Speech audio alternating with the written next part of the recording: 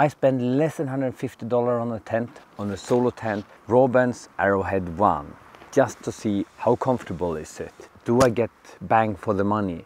If you're new to this channel, my name is Matti. I live in Jokkmokk, north of Arctic Circle. I'm living as a dog musher and nature guide together with my partner Stina. Outdoor life is actually what we're doing for a living. Check our channel. We'll find a lot of other videos about different model of tents, hiking gear, outdoor gear and so on. We do videos that we like to do. So in this video we're going to look closer at Robens Arrowhead 1 and this is not a paid something. I bought this tent for my own money because I was really suspicious about how does it work, what do you get for the money and I think that would be good content for this video channel also. Robens is a German company who produce outdoor gear. They produce a lot of tents, different models. They also produce kind of nice, good looking canvas tent. I have no idea they're good or bad. So when I got this tent for the first time in my hands, I was thinking it's a little bit bulky, as you see. But I compare with another tent that's called Big Agnes Copper Spur or Hilleberg Enan. They are much smaller. But these two tents, I think Enan is seven or nine times more expensive than this Arrowhead. Robens Arrowhead comes as 1.8 kilo. It's not a super lightweight tent, but it's not super bad either. This is actually the weight of a lot of solo tents during 1980s. And now we're going to pop up this tent and see how it looks. When you open the bag, you get a bag with poles. And I always keep these sticks in the bag with the poles so I know where it is. It is two of these bows and they are pre-bended like this as you see. They come like this and then there is a longer one that also comes like that.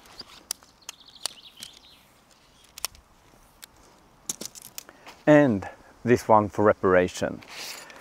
You can easily save some grams if you swap them to some more expensive pegs. When I look at these bows, I don't either think that they are the most high quality stuff, but if one of them crack, you can easily get a new one with high quality also.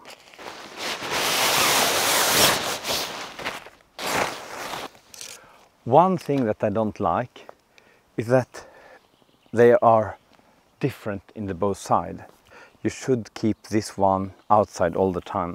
I like the simple things when uh, you can't make mistakes.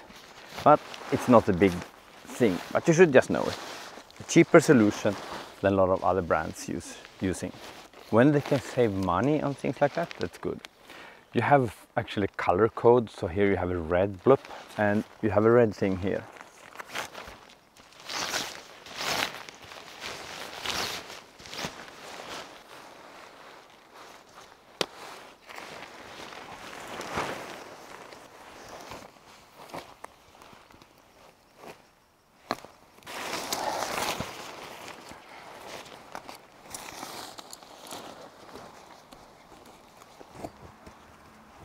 So as you see, it's a tunnel tent. It's a low profile tunnel tent.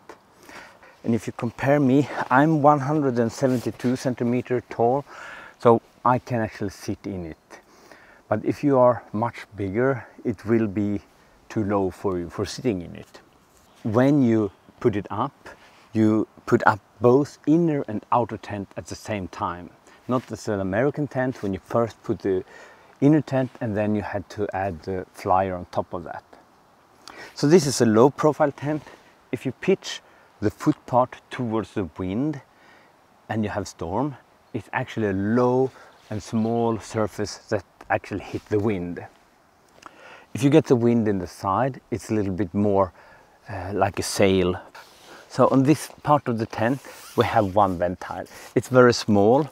It is actually possible to close it can, there is Velcro here and Velcro here, so you can do it from the inside and then it will be closed.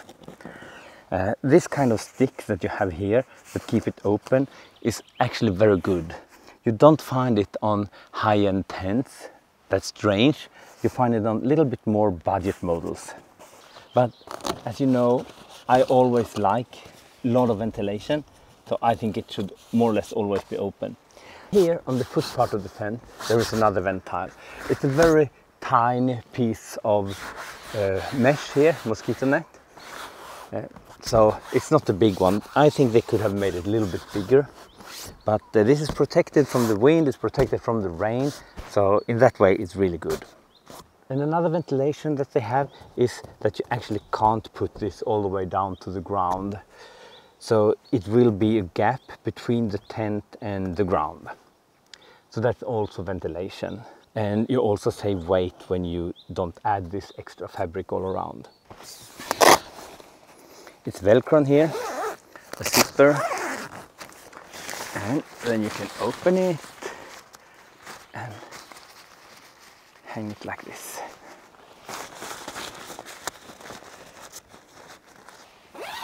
But let's open up the inner tent and put that away. And here it's also attachment for a peg or for a rope or something like that. I don't use that. And then we had to talk about the ventilation on the inner tent. This fabric here gives some ventilation, of course, and then you have some of this mesh mosquito net up here. We have some mesh here, ventilation, and it's also panel here on the door. Uh, but otherwise, as you see, it's only this white fabric that is not super dense. There is ventilation in that, but not so much. So what I would love to have in this tent is a little bit more mosquito net here or that the whole door could be open up with a mosquito net. So I, I would love to have more ventilation in here. Look at the construction.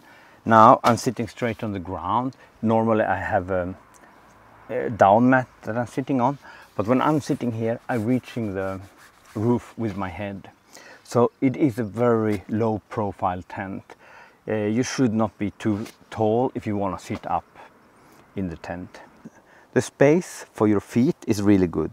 Your, your sleeping bag will not reach the roof if you get condensation on that. When I'm having my feet all the way to the uh, wall on that side, you see, then it's quite a lot of space here, as you see. And I'm 172 centimeters, so I will have,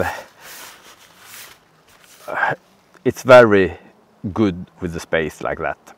I had to say that. Otherwise in here there is a pocket here where you can store some things. There is some of these um, loops up here so you can attach a rope or hanging a lamp here if you want. The vestibule is not big here. It's quite small. When I've been using this tent, I've been cooking inside here. It hasn't been a problem. You can also pull it away and then this loop is probably good because then you can add a stick here or do something like that and then you get more space for the stove but what you had to remember if you switch on a stove in the tent you must keep good ventilation you maybe had to open up a little bit down here because when you fire a stove inside there is always a risk with this carbon monoxide poisoning and that's really serious thing but when it's raining sometimes it's nice to make a cup of coffee still sitting in the tent. One idea with this tent that I like is that I actually can put it up like this. I can keep it open here and if I have a tarp I can add a tarp on top of here. So then then I can stay like this even if it's raining in my sleeping bag having coffee and keeping my tent open and looking out. That's the lazy old man's tent then. Laying down then you don't need the high roof to sit down. When we look at the quality, I had to say I haven't used this tent a lot. Like a lot of other products that I make review of, I, I use it a lot before I talking about it. This tent I've been used a little bit, but not much. So I cannot really say it's still kind of brand new, I would say. But if you look at the fabric, I think the fabric is quite okay. When I look at the stitches, when they have sewing it, it looks okay also. What I'm not super fan of is that all these seams, all this here, they are taped. And as you know, when you tape something, the tape will come off sooner or later. I'm not super fan of that, but it depends on how much you plan to use it and so on. The tapes here in the roof, that is not a problem. If these tapes come off, you can just put seam sealers on top of this. You find YouTube videos about how to seam seal a tent. But if the tapes come off on the floor, you can probably find new tapes that you can add or you can also seam seal and liquid sole it.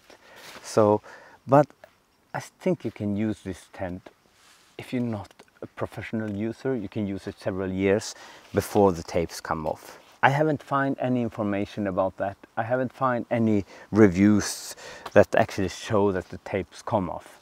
So that's only from my experience with other products that are, have tape seams. So maybe it's, it's a no problem actually. What I like that they have done with the zipper is that they actually have put a small rope here as you see instead of having this other thing because the rope is easier to open and close it and then the thing is not breaking down either. So that I like. One other thing that are standard failure on cheap tents is how they have attached this. You see, it's only attached in the small stitches here. If this had been more high-end tent, this have looked different. It maybe have been three lines like this here, and it's the same if you look here. It's attached here, and this tent in a big storm, then this is the weak point, definitely. This tent has been standing here for more than 24 hours in really, really heavy rain. And I was a little bit late out now with the camera because I wanted to show you how the fabric react.